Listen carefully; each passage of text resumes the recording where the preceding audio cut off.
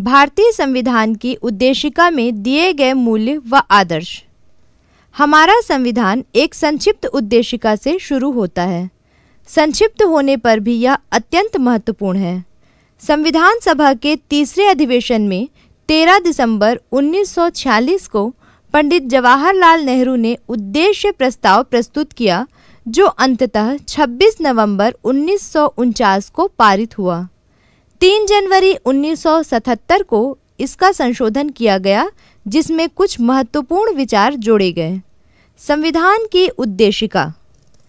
हम भारत के लोग, भारत को एक संपूर्ण प्रभुत्व संपन्न, समाजवादी पंथ निरपेक्ष लोकतंत्रात्मक गणराज्य बनाने के लिए तथा उसके समस्त नागरिकों को सामाजिक, आर्थिक और राजनैतिक न्याय, विचार, अभिव्यक्ति, विश्वास धर्म और उपासना की स्वतंत्रता, प्रतिष्ठा और अवसर की समता प्राप्त कराने के लिए तथा उन सब में व्यक्ति की गरिमा और राष्ट्र की एकता और अखंडता सुनिश्चित करने वाली बंधुता बढ़ाने के लिए दृढ़ संकल्प होकर अपनी इस संविधान सभा में आज तारीख 26 नवंबर उन्नीस सौ उनचास ईस्वी मिति मार्गशीर्ष शुक्ल सप्तमी संवत 2006 विक्रमी को एतद द्वारा इस संविधान को अंगीकृत, अधिनियमित और आत्मार्पित करते हैं। इस उद्देशिका के महत्व पर टिप्पणी करते हुए पंडित जवाहरलाल नेहरू ने कहा था, प्रस्तावना होते हुए भी यह प्रस्तावना से बहुत अधिक है। यह एक घोषणा पत्र है, यह एक दृढ़ निश्चय है, यह एक प्रतिज्ञा और दायित्व है। और हमें विश्वास है कि यह एक व्रत है।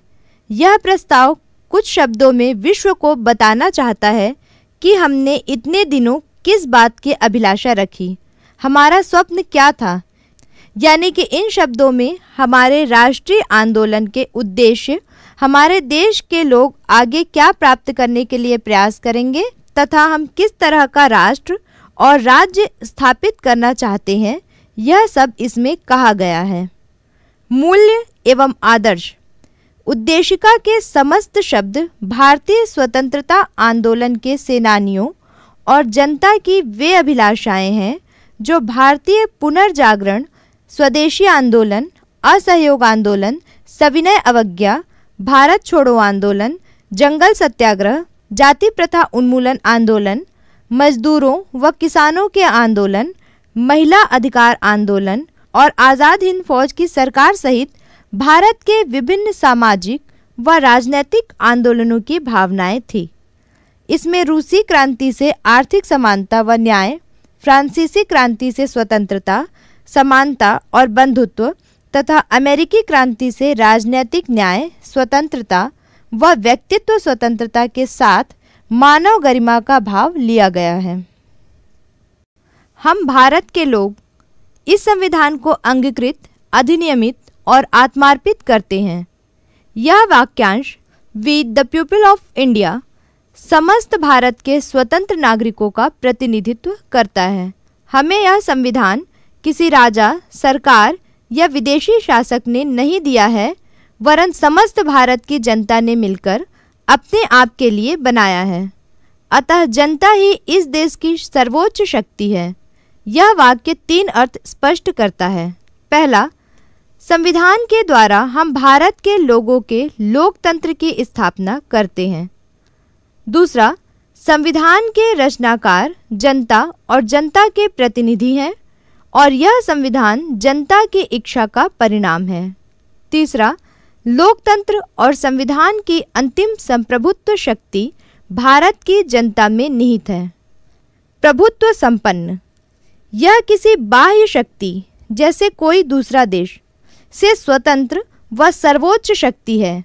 देश के अंदर भी संप्रभुत्व युक्त राज्य के निर्णय सर्वोपरि होते हैं, क्योंकि यह माना जाता है कि उसके पीछे देश के सभी निवासियों की सहमति है। विदेश नीति हो या आंतरिक नीति, जनता का राज्य स्वनियंत्रित एवं स्वतंत्र है।